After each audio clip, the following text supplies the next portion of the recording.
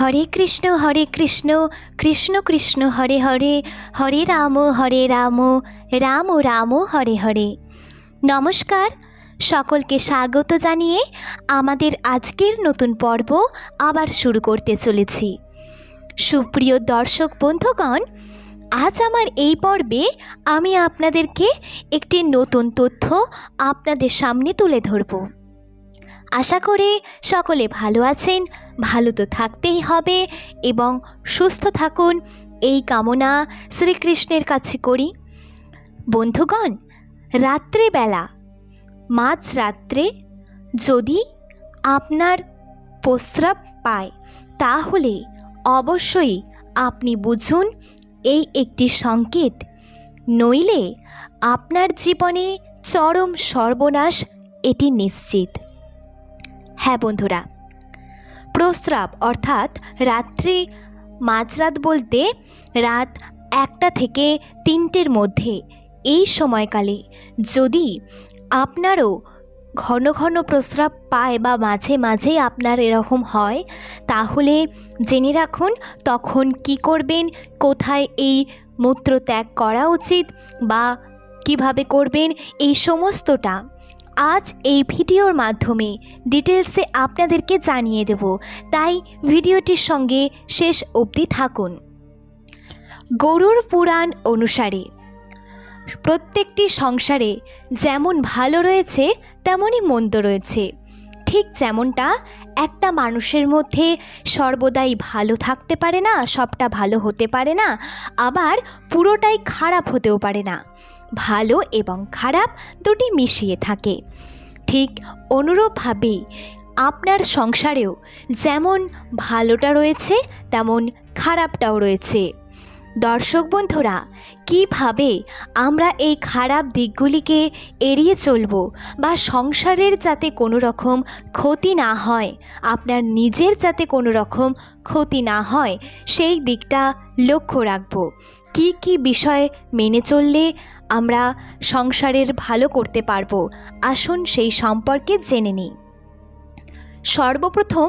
আপনাদেরকে বলবো যে আপনারা যখন দেখবেন আপনাদের বাড়িতে নানান রকম রোগ ব্যাধি লেগেই রয়েছে বা একটার পর একটা দুর্ঘটনা খারাপ ঘটনা আপনার পরিবারের সদস্যদের সঙ্গে আপনার সঙ্গে ঘটেই চলেছে অনবরত থামার কোনো নামই নেই আবার ডাক্তার কাছে যেতে গিয়ে রোগ ব্যাধি সারাতে গিয়ে প্রচুর খরচাই বেড়ে যাচ্ছে দিনকে দিন কিন্তু রোগ ভালো হচ্ছে না কমছে না বা একটা কমলে আর একটা হচ্ছে এই রকমটা দেখবেন প্রায় পরিবারেরই অশান্তি বা সমস্যা লেগেই থাকে মনে রাখবেন এরকমটা হলে কিন্তু আপনার সংসার ছাড়খাড় হয়ে যেতে পারে দিনের পর দিনে তাই আপনারা আপনাদের ঘর বাড়ির যে সমস্ত জিনিস যেগুলো যেখানে থাকার সেখানেই গুছিয়ে রাখবেন কারণ অগোছালো অপরিষ্কার অপরিচ্ছন্ন জায়গা মা লক্ষ্মী বাস করেন না তাই সমস্ত কিছু গুছিয়ে রাখার চেষ্টা করবেন আবার অনেকেই আছেন যারা রাত্রিবেলা এঁঠো বাসনপত্র না ধুয়েই ঘুমিয়ে পড়েন ঘুমোতে চলে যান পরের দিন সকালে মাজবো বলে কিন্তু এমনটা করলে তো চলবে না এটা দুপুরবেলা খাওয়ার পরের ক্ষেত্রেও রাত্রের ক্ষেত্রেও আপনারা খাওয়া দাওয়ার পরে অবশ্যই এঁঠো বাসনপত্রগুলি ভালো করে ধুয়ে পরিষ্কার করে তারপরেই ঘুমোতে বা শুতে বা রেস্ট নিতে যাবেন আরও একটি বিষয় এঁঠো বাসনপত্র অর্থাৎ আপনি যে থালায় খাচ্ছেন সেই থালাতেই আবার কাউকে দিয়ে দেবেন না সে যতই আপনার কাছের সম্পর্কের হোক না কেন দেখুন সম্পর্কটা আপন হতে পারে নিজের হতে পারে কিন্তু রোগ জ্বালা কখনোই কারোর আপন নয় তাই নিজের এঁঠো করা কোনো বাসনপত্র কখনোই কাউকে খেতে দেবেন না আবার অনেকে আছেন একটা গ্লাসেই অনেক পরিবারেই দেখা যায় একটা গ্লাসেই সকলে মিলে জল খান হ্যাঁ একটা গ্লাসের জল খাবেন তবে সেই গ্লাসটিকে নিজে খাওয়ার পর ধুয়ে মুছে পরিষ্কার করে তারপর অপরজনকে জল খেতে দেবেন তার আগে নয়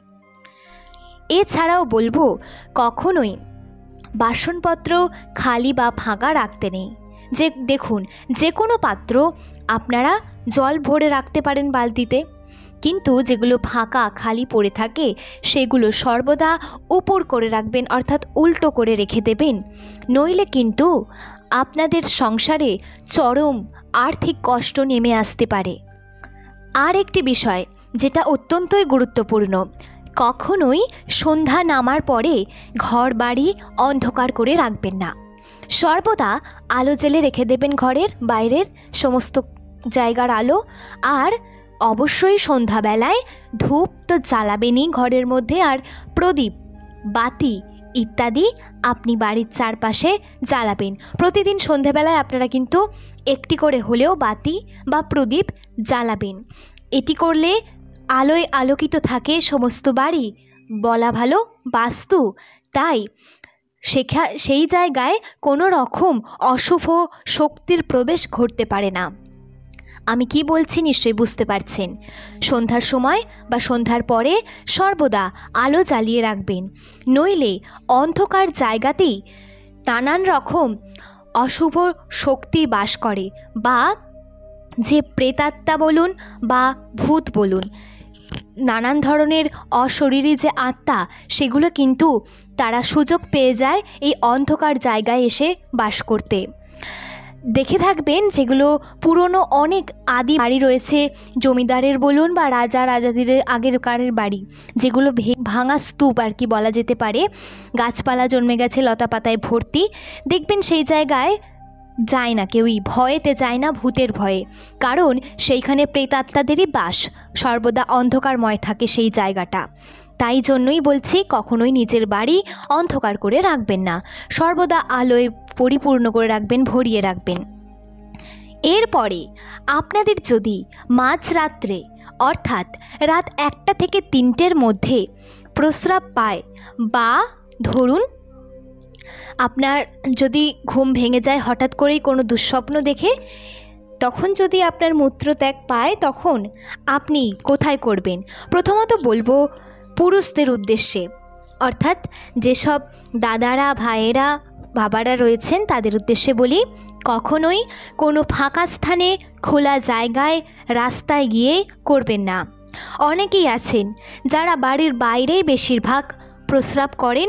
যে কোনো গাছ দেখলে গাছের তলায় বনে বাদারে বা রাস্তার ধারে